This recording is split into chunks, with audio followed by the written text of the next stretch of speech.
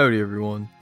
So Season 17 Essence 2, releasing August 11th, will include skins for Psychologist, Batter, and Feaster, with the Psychologist as the highlight S skin. Emil's S skin Fugitive will see a limited store release, so save your fragments, or like me, frantically try to level up for fragments because you spent them on recent skin releases. I gotta say, I love the Norse slash medieval-esque theme of this essence, and although Ada's S skin kinda gives me toy merchant vibes, I think she'll look quite vibrant in the game, especially with Fugitive King Emil by her side. Now, with the release of this essence, there will be two events that Global may see.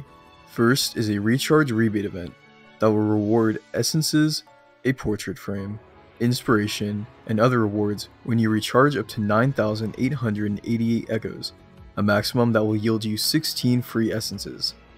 I'm like 95% sure that only echoes bought during the event will count toward rewards, so if you're considering buying echoes right now, maybe hold off until we get confirmation on this event for global.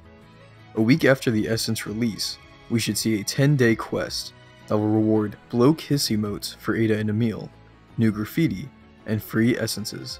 While we don't know the contents of this quest yet, it probably rewards just from playing the game, maybe as playing Ada and Emil, but usually these sort of quests aren't too difficult. So until we see a China server release of these things, that's all we know for now. Let me know whose S skin you're most excited for. For me, it's gotta be Emil. I mean, what a king. Anyway, thanks for watching, and happy hunting.